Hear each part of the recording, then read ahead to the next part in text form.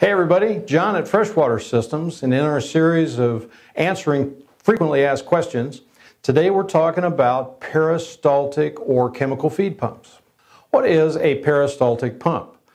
The peristaltic pump refers to the way in which it moves liquid.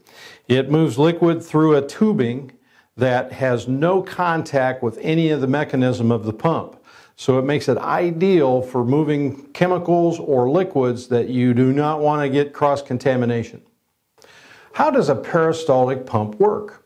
The peristaltic pump has really two primary components. Obviously, it has a motor to turn these wheels, and these wheels are inside this tube that goes around inside of it and it presses the tubing against the outer portion of this little housing.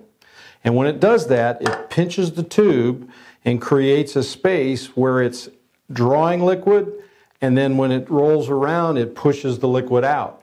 And, and they can be adjustable uh, either by the size of the diameter of this tube, or some of the adjustable pumps will have a wheel here that we will be able to dial in a, a clutching mechanism so that we get just the right dose for whatever our application is.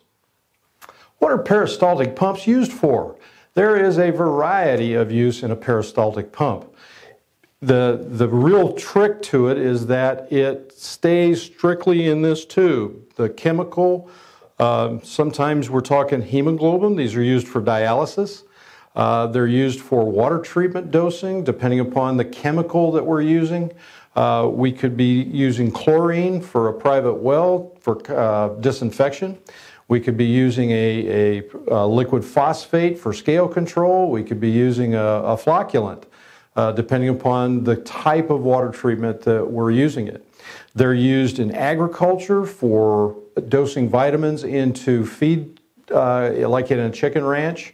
Uh, they're used for uh, agriculture. Uh, it's literally an endless list of any kind of application where you want to make sure you have no cross contamination of your nutrient, of your uh, chemical, or even blood in the case of dialysis. So, what are the benefits of a peristaltic pump?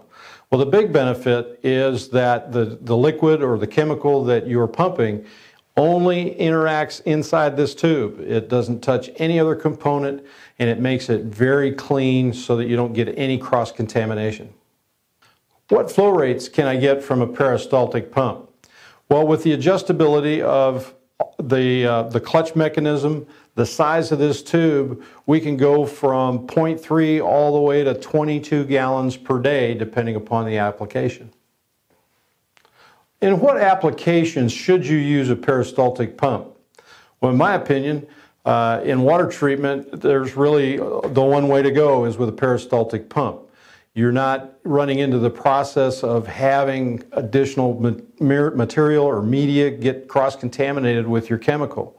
Um, peristaltic pump, because of that very reason, is a great choice in several applications, whether it be livestock feeding, agriculture, uh, water treatment, or even medical. Well, that's all we have. Be sure and like this video, subscribe to our channel, and for further information, check out our website, freshwatersystems.com.